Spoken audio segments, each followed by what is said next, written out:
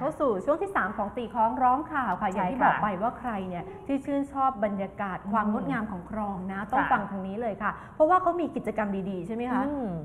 เป็นส่วนของเขตบางนาซะด้วยนะคะค่ะเขตบางนาหลายคนเนี่ยจะนึกถึงแหล่งช้อปปิ้งหรืออะไรแบบนี้นะคะ แต่อย่างไรก็ตามมีคลองสายสำคัญหลายคลองนะคะ เดี๋ยวเราไปดูเรื่องนี้กันค่ะ คือทางสำนักงานเขตบางนานะคะเขามีการจัดกิจกรรมชื่อคนรักคลองขึ้นกับพี่มะปรางอืมในช่วงวันที่ 8 เมษายนนับไปอีก 2 วันเองค่ะนะคะ กับคลองที่หลายคนที่อยู่ในบริเวณนั้นคุ้นอะเคยกันดี ก็คือคลองซอยอุดมสุข 58 นะคะค่ะแล้วก็พอวันที่ 9 เมษายนอีก 1 วัน ก็จะมีการจัดงานที่คูคลองถนนศรีนครินทร์ด้วย อยู่ตรงข้ามแขวงการทางสมุทรปราการนั่นเอง ตั้งแต่ 9 นาฬิกาจนถึง 12 นาฬิกาเลยนะคะ เห็นว่าจะมีการปรับปรุงสภาพทางกายภาพของคลองย่อยกันที่เชื่อมต่อกับคลองบางนา เพราะว่าเป็นคลองสายสำคัญในพื้นที่ แล้วก็เป็นคลองที่มีความสำคัญเรื่องของการระบายน้ำลงสู่แม่น้ำเจ้าพระยาด้วยค่ะนะคะอ่านะคะ ต้องบอกว่าในเรื่องของคลองนะคะกรุงเทพมหานครเองก็มีนโยบายนะคะอืมที่จะมีการจัดระเบียบคลองเก้าสายใช่อย่างที่ค่ะบอกไปค่ะ พอพูดถึงคำว่าจัดระเบียบอืมทุกคนจะรู้สึกว่าตกอกตกใจว่าอ๋อเราจะได้รับความเดือดร้อนหรือเปล่านะคะค่ะ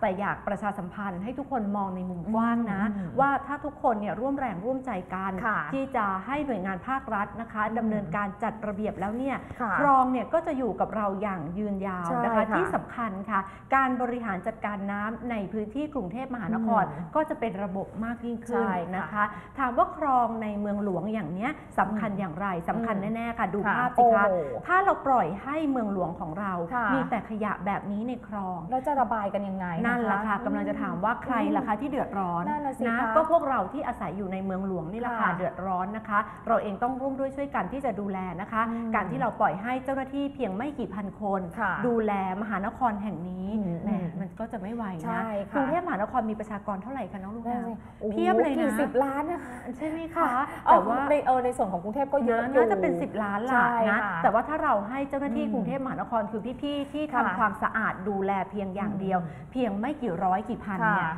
ไม่พี่พี่เขาก็เอาไม่อยู่เหมือนกันนะคะใครๆก็เอาไม่อยู่แล้วล่ะใช่แบบค่ะเนี้ยพอเราเห็นแบบนี้นะคะ เมื่อกี้เราสองคนพยายามส่อง เห็นทั้งกล่องโฟมอะซึ่งมันไปอยู่ในคลองได้ยังไงคือตอนแรกดูจากค่ะลำคลองเนี่ยเอ๊ะไม่มีขยะเลยเลนั่ยนมีน่ะสิแอบคะยิ้มนะอืมแต่พอสักพักไปตรงประตูระบายน้ำโอ้ไปกองตรงนั้นเพียบเลยนะคะ คือเรื่องของสิ่งแวดล้อมเนี่ยพวกเราร่วมด้วยช่วยกันได้ ถ้าเราเห็นใครที่กำลังจะทิ้ง หรือทิ้งอยู่เนี่ยจุจุเออตาพิเศษเห็นนะอะไรอแบย่าบงนี้ไหมเตือนเขาด้วยสายตาหรืออะไรดีไหมคือบางทีก็กลัวนะเขาจะเอากล่องโฟมตีกลับมาหรือเปล่าแต่ว่า คือเราต้องร่วมด้วยช่วยกันทำให้นะคะคนกลุ่มเนี้ยมันเป็นคนกลุ่มน้อยจใช่ริงค่ะๆจนเขาไม่กล้าที่จะทำแบบนี้อีกนะคะอืมซึ่งอย่างที่บอกไปไม่เฉพาะในพื้นที่เขตบางนาเท่านั้นค่ะละค่ะที่มีการจัดกิจกรรมคนรักคลองนะคะค่ะเชื่อว่าในพื้นที่เขตอื่นๆค่ะมีการอืมจัดกิจกรรมแบบนี้ ในค่ะเรื่องของการดูแลคลอง หรือว่าแม่น้ำสายสำคัญในกรุงเทพมหานครนะคะ ก็เป็นกำลังใจค่ะ แล้วก็ค่ะอยากจะเป็นสองพลังละกันใช่ค่ะสองพลังที่จะร่วมอืมด้วยช่วยกันดูแล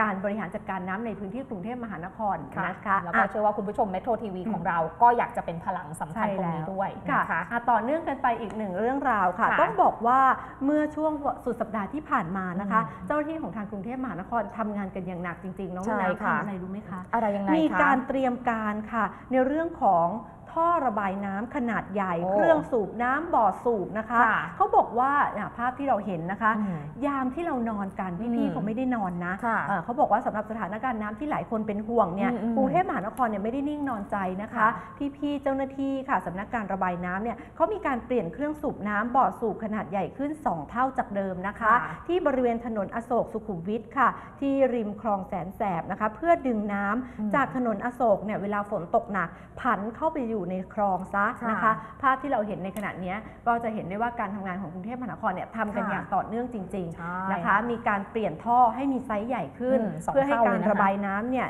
รวดเร็วมากขึ้นนะคะค่ะแต่อย่างไรก็ตามท่อจะใหญ่ขนาดไหน ถ้าเรายังทิ้งหมอนมันก็ที่นอนตันได้ฟูก